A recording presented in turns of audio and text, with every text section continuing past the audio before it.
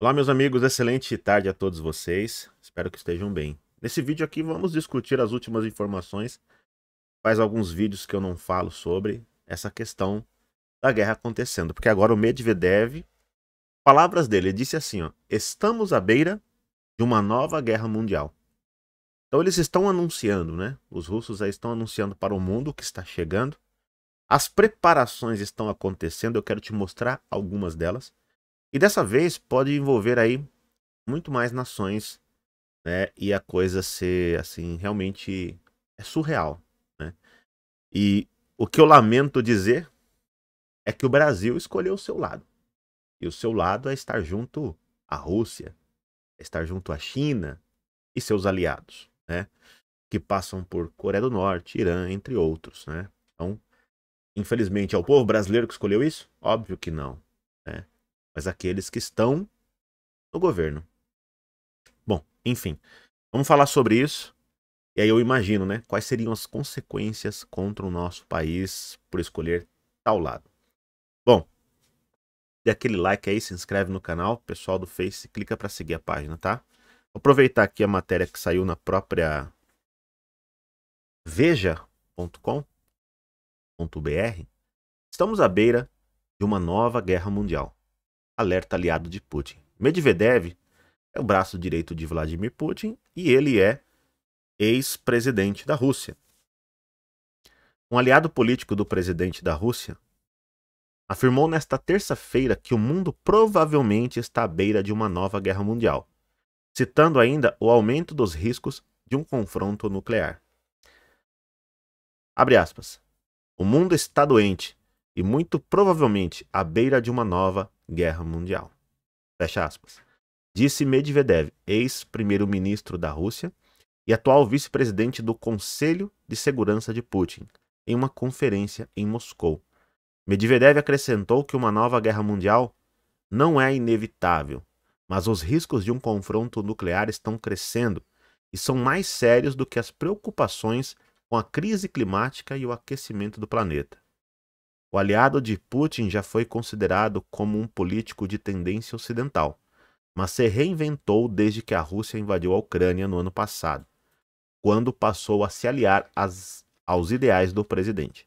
Quase todos os dias, faz uma declaração diária sobre a guerra ou supostos inimigos da Rússia, inclinando a comentários explosivos. Ele usa realmente palavras fortes para alertar sobre coisas que virão e as preparações. Pessoal, é, não precisa ser um especialista em geopolítica, não precisa ser um, né, um, um, um professor para entender o que está acontecendo. Se você acompanhar as declarações, as matérias, se você é, ver as movimentações militares que estão acontecendo, os treinamentos, você vai ver que Estados Unidos e Rússia estão se preparando para um eventual confronto, assim como a China está se preparando para uma grande guerra, assim como a Coreia do Norte, assim como Israel, que eu vou mostrar aqui para vocês, assim como também a própria é, Coreia do Sul, Japão, junto aos Estados Unidos, fazendo grandes treinamentos.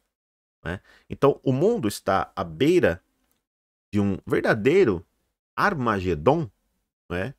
causado pela humanidade, aí, o, o, aqueles que estão no controle, né? e que as consequências são inimagináveis. Nós, nós podemos imaginar algumas situações, mas o depois. O, o Medvedev, nas ameaças que a Rússia vem fazendo, ele falou o seguinte: falou, olha, se acontecer essa guerra nuclear, o que acontecer aí, né, vai demorar séculos até que as pessoas se lembrem de como era a vida antes dessa guerra. Até as pedras pararem de emitir radiação. Olha as palavras. Né? Bom, vamos lá. É... De acordo com Putin, o mundo enfrenta a década mais perigosa desde a Segunda Guerra Mundial. O líder russo descreve o conflito na Ucrânia como uma batalha existencial contra o Ocidente, que ele chama de agressivo e arrogante. Destacou que Moscou está pronto para usar todos os meios disponíveis para se proteger de qualquer agressor. Neste ano, a Rússia deixou um tratado nuclear com os Estados Unidos, e disse que vai posicionar armas nucleares estratégicas em Belarus. E eu vou te mostrar já o que está acontecendo. O treinamento já aconteceu. que faz fronteira com os países da OTAN e com a Ucrânia. O aliado vizinho também foi utilizado como porta de entrada para as tropas russas no início da invasão ao território ucraniano. O secretário da OTAN, o Jens Stoltenberg, disse que o plano de Putin faz parte de um padrão longevo de retórica nuclear perigosa e irresponsável. Né? Bom, aí vamos lá então. Lavrov, sabe aquele que estava aqui no Brasil? Ele mesmo. Alerta que alerta sobre militarização da União Europeia. Diz que está nascendo uma outra OTAN. Né? Então, isso é parte do quê? Da grande preparação do mundo para este conflito que está chegando. É óbvio isso, gente. Né? Agora, quer dizer que vai acontecer? Ninguém pode garantir isso. Mas tudo está indicando que sim até esse momento. Porque não estamos vendo é, um, aquele passo atrás. Nós estamos vendo passos à frente. Cada vez mais perto. A preparação vai ali. Vai chegando. A Segunda Guerra Mundial não foi da noite para o dia. Foi passo a passo. Alguns anos. Até eclodir. O ministro das Relações Exteriores da Rússia, Sergei Lavrov, disse que a União Europeia está se militarizando a um ritmo recorde e agora há pouca diferença entre a União Europeia e a OTAN. Ele disse em entrevista coletiva na terça-feira nas Nações Unidas em Nova York que uma declaração assinada recentemente afirma essencialmente que a aliança militar da OTAN, de 31 membros, garantirá a segurança do bloco de 27 membros da União Europeia. Ele parecia estar se referindo a uma declaração da União Europeia-OTAN em janeiro sobre sua parceria estratégica, que chamou a invasão russa da Ucrânia de a mais grave ameaça à segurança euroatlântica em décadas. Mas a declaração não afirma que a OTAN garantirá a segurança da União Europeia. Né? Então, eles estão. Tá no, hoje no mundo militar essa matéria, não vou ler inteira aqui, mas esse é o resumo estão se preparando, né? União Europeia. Vocês viram o Macron? O Macron ele acabou viajando lá para a China, teve conversas com Xi Jinping, etc. e voltou um discurso um pouco diferente e que eles têm que ser menos independentes, é, menos dependentes dos Estados Unidos, mais independentes, ter ali uma, né, a força militar, etc. Então vão, vão acompanhando. E aí aqui, ó, né? Belarus, Bielorrússia, olha o que aconteceu. Unidades da Bielorrússia completam treinamento nos sistemas de mísseis nucleares táticos russos. Então, assim como foi anunciado que faria, está acontecendo. É, armas nucleares serão cedidas à Bielorrússia, pela Rússia. O anúncio veio exatamente quatro semanas depois que o presidente Putin anunciou que a Rússia irá implantar armas táticas nucleares na Bielorrússia. Este foi um aviso enviado à OTAN sobre seu apoio militar à Ucrânia.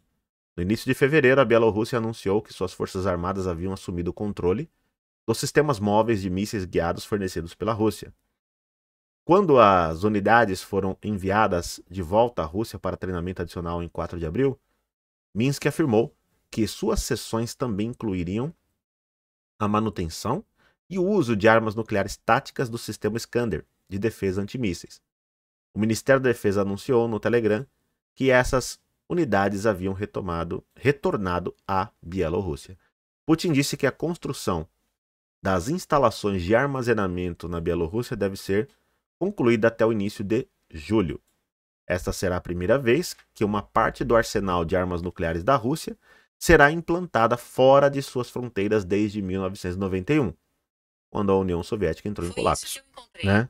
E o falando aqui, ó. então, gente, veja só. Nós estamos vendo né, uma grande preparação, como eu venho dizendo. Muitos dizendo que mais perigoso talvez que a Guerra Fria. E desde 91, com a União Soviética, não acontecia isso. E agora ocorrendo armas nucleares sendo colocadas ali na Bielorrússia, fora do território russo. Então, o que, que é isso? Preparação, movimentação estratégica, né? E aí, gente, se nós formos levar toda essa questão para um contexto, como eu sempre falo para vocês, para ficar de olho nas escrituras, né, bíblico, nós veremos o que? Eu, antes disso tudo acontecer, dessa guerra, dessa invasão russa da Ucrânia, né, eu ficava pensando assim: como que vai se dar isso? Como que a Rússia pode se voltar contra Israel? Porque era, era, de certa forma aliados, né? Tinha um relacionamento, aliados entre aspas, né? Tinha um relacionamento amigável, um relacionamento tranquilo, né? Putin né, chegou a visitar Israel tranquilamente. É, Israel faz incursões ali na Síria para poder se prevenir contra o, os ataques ali que vêm de dentro da Síria, principalmente por iranianos, destrói instalações, etc. E a Rússia não, né, não se mete, sendo que tem muitos russos lá dentro da, da Síria e que é, mantiveram o Bashar al-Assad, né?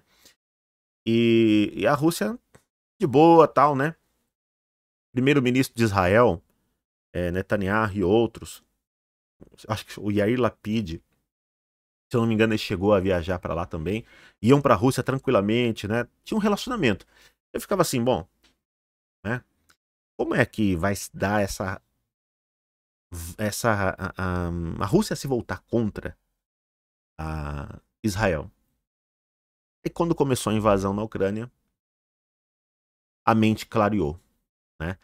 É, Israel tem cada vez mais apoiado ali a Ucrânia, apoiado né, e, e se posicionado contra a Rússia. E isto né, tem irritado bastante os russos, que também irritam os israelenses por apoiar e municiar quem? O Irã. E também receber do Irã muitas, é, muitos armamentos. Então, gente, é, eu não posso garantir para vocês, né, com, ah, tenho certeza que é isso e tal, mas o desenho aqui também do que pode vir a eclodir nessa década, né? Muito se fala das, da profecia de Ezequiel, da guerra de Gog e Magog, né? Onde Deus fala, Gog, né? Que fala, ele fala, eu porei anzóis em você, na sua boca, né? Eu te, eu te trarei a terra de Israel, eu vou te trazer. Né? Gog, com seus exércitos gigantescos, numerosos, né? E muitos especialistas bíblicos apontam que pode, né, esse entre aspas reino de Gog, esse exército de Gog, né, Magog, pode ser né, é, a Rússia, China e seus aliados, que com um exército numeroso, incontável, se juntarão e que em determinado ponto da guerra que vai estar acontecendo no mundo, se voltarão contra quem? Israel. E a Rússia, ela tem interesse em Israel? Tem muito interesse. Principalmente, talvez principalmente, um dos pontos principais, as águas israelenses, né? Ali para a Rússia utilizar ali a, como uma como a sua frota, né? Naval, vamos dizer assim, com as águas israelenses seria para eles perfeito, né? Uma vez que as águas da Rússia lá congeladas, eles usam só um, um, um trecho. A gente pode fazer um vídeo só sobre isso, mostrando essa estratégia. E isso interessa muito, fora outras tantas coisas que Israel tem, que pode interessar, que interessam muito aos russos, que vão olhar com um olhar estratégico. E aí é onde Deus vai fazer o quê? Usar o coração dos, dos homens, né? Colocar ali neles essa vontade. Por isso que ele fala: porém anzóis na sua boca. Porém anzóis, eu vou puxar, eu vou te trazer, eu vou te pescar. Vem para minha terra. E é ali onde será derrotado pelo próprio Deus. Vocês estão entendendo, gente? Então é por isso que eu falo para vocês: não tem como eu não olhar para a geopolítica e não olhar para a Bíblia. Está interligado. A geopolítica é o cumprimento da Bíblia. Muitas coisas estão acontecendo. Eu digo a vocês: a Terra tem um script. Nós sabemos qual é esse script. E mesmo sabendo, muitas pessoas escolhem o caminho errado, porque nós temos o livre-arbítrio, certo? Então, cuidem aí da, da, salvação de vocês, cuidem da vida.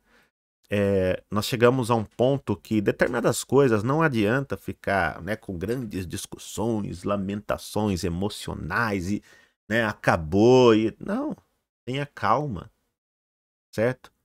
Essa é uma batalha é o próprio Deus quem vai lutar. Tenha calma, tenha paciência, resiliência. Pense em você, pense na sua família, pense na, sal na salvação. Seu tempo tá aí. Tá certo, gente?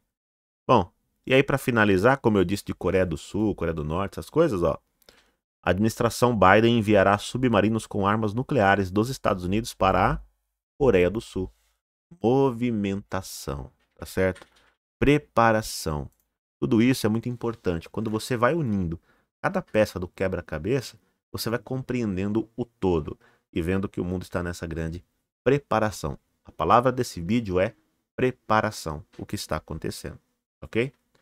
Que Deus abençoe todos vocês. Compartilhe esse vídeo aí, ajude a chegar a mais pessoas, deixe a sua opinião, mas também que se inscreva aí no canal e ative as notificações para não perder os próximos vídeos, tá bom? E ó, te espero aqui no Instagram, RenatoGBBR. Dia 9 de junho, estamos partindo para Israel. Lá você vai acompanhar em tempo real essa aventura com o nosso grupo aqui do canal. Olha que maravilha, né? Com o nosso grupo gigantesco, hein? Vocês vão ter surpresa, hein? Quantidade de pessoas. Muito obrigado a todos que, que toparam. Aqueles que não conseguiram ir dessa vez, já prepara aí. Eu já tenho a data da próxima. É. Então aguarde, hein? Vamos poder conhecer ali Israel juntos, estarmos juntos, realizando este sonho de ver a Terra Santa de pertinho, os locais onde o Senhor esteve, né, onde andou, ver ali o Mar da Galileia, o Mar Morto, nadar ali no Mar Morto, né? O Rio Jordão, se batizar no Rio Jordão, um ato simbólico, né, mas muito forte. E vocês vão poder acompanhar tudo isso. Então, ó, Segue aqui já, ó, Renato GBBR. Agora que o vídeo está acabando, só abrir o Instagram e digitar Renato GBBR. Tá bom? Combinado? Ou clica no link na descrição e você vai acompanhar essa aventura lá que eu farei lives, etc. Aqui no canal eu vou postar vídeo também. Mas lá você vai ver em tempo real os stories, né? As coisas acontecendo ali. Combinado? Deus abençoe, um forte abraço e até a próxima.